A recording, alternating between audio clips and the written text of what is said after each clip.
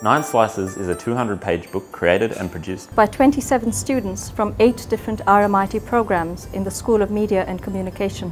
Each chapter was written, edited and designed by a team of three students over nine days of the Emerging Writers Festival. The chapters were put together in Slice Girls Pizza, a mini pizzeria on Little Lonsdale Street, next door to Thousand Pound Bend. Six students doing photography and communications helped promote the book.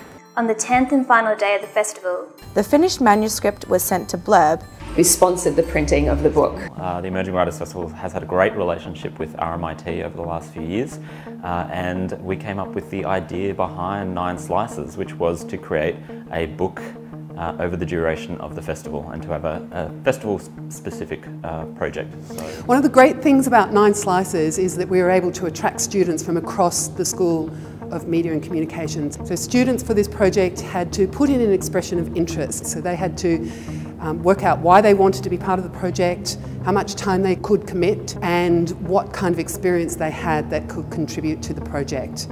So I had 12 hours to produce a, a story. So I came in here, sat down at this spot by, next to this tap here and started writing and time went and every time I had a problem or an, an, a question, I could just turn to my, my editor and my designer who were next to me. I had no idea if I could actually pull this off uh, coming into this day. And what do you know, at the end of the day, there, there was a story there with 3,000 words.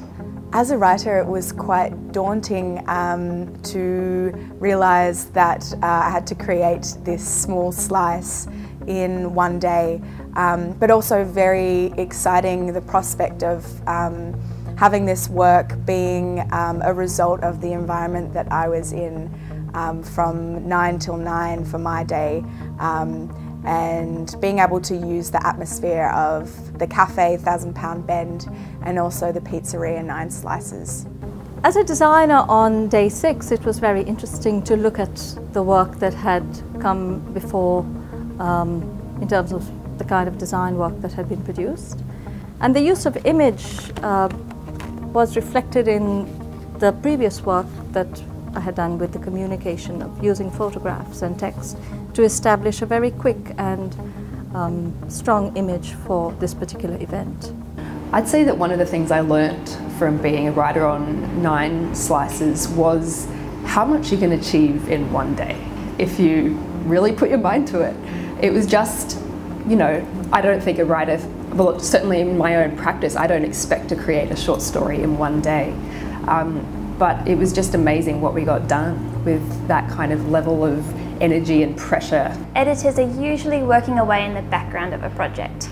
Um, so this was an opportunity to step forward and be there through the 12 hours of writing. As editor, part of my role was to project manage the team for the day, which meant uh, working really closely with the writer and the designer to ensure that we were moving along at the right pace to have a finished project at the end of the day.